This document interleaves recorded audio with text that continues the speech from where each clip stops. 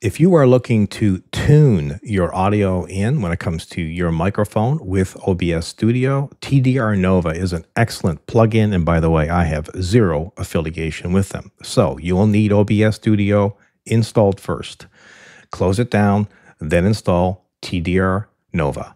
Once you've done that, open up OBS Studio again, then right click on your mic, click on filters. This will pop up and yours might be blank. Ignore all these other ones here. Click on plus, then create. You could call it whatever you want, but I've called it TDR Nova.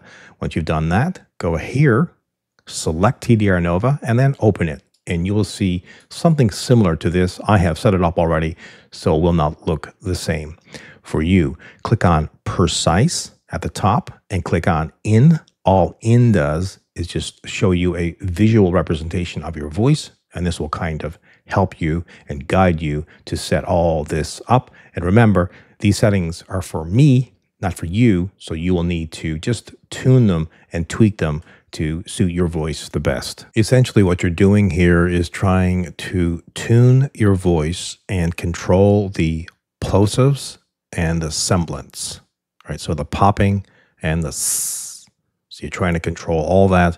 And this particular plugin will definitely do that. So you can turn these two off right here. And everything for you might be grayed out, but as you click on them, they will turn blue and then you can adjust the settings. So you'll need a high pass filter and a low pass filter, and as well two here to control the rest of the audio. So let's go ahead and click on high pass. So high pass for that, I have 40 hertz and I have 24 decibels. For the low pass filter, I have 25 kilohertz and I have 24 decibels. Nothing gets changed here. On this one, which is right here, select this center one, the slope, and you will need to adjust all of these settings. I don't have anything adjusted for gain, but you can if you want to.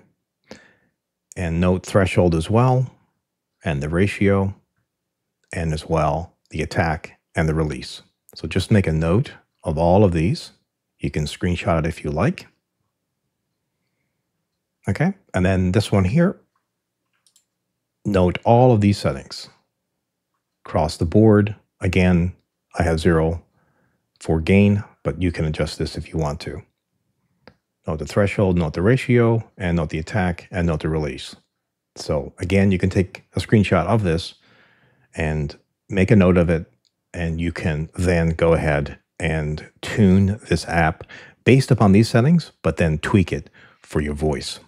Well, I hope this video was very useful and let me know how you made out. And if you think using this really, really, you know, made your voice much, much better than before.